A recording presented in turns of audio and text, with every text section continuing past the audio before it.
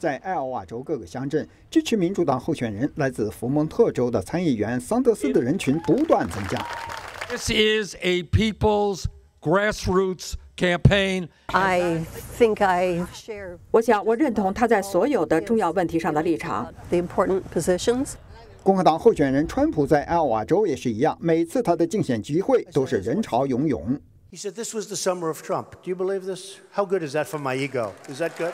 我相信川普有解决问题的好办法。最近，德梅因《纪时报》和彭博新闻社对可能参加艾奥瓦党团初选投票的选民进行民意调查，发现桑德斯和川普的支持率都在猛增。川普的支持者克拉克说：“他知道这是为什么。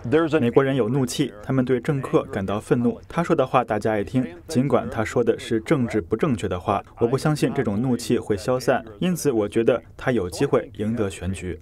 Trump is so extreme. 川普非常极端，我想对很多人来说，桑德斯也很极端。How are you? 在移民和医保等问题上，桑德斯和川普游离于主流之外的立场，使他们的支持率大增。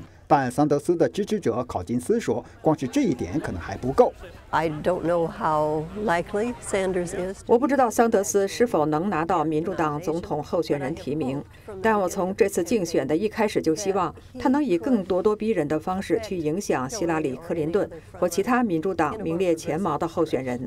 尽管桑德斯的支持率上升，民调显示克林顿在艾奥瓦州依然是民主党领先的候选人。I don't know that 希拉里现在的问题很多，我不知道他是否真的值得信赖。退休的教育界人士霍夫梅尔说，克林顿在担任国务卿期间使用私人的电子邮件导致的问题，可能是另一个还没有参选的人的机会。I think it will be interesting if 假如拜登副总统参选就有意思了，因为我认为他会直接投入选战。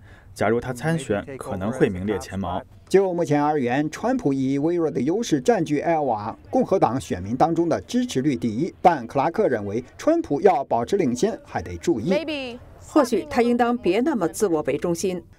艾奥瓦党团初选目前定于明年二月一日举行。